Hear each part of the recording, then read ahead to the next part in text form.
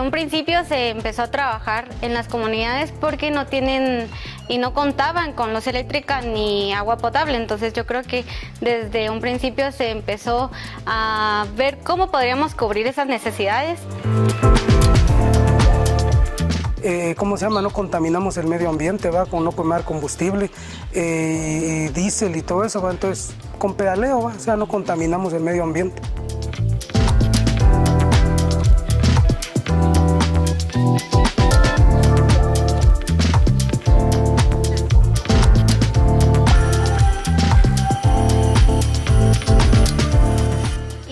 Costaba porque la gente decía, bueno, yo quiero algo donde yo pueda apachar un botón y funcione.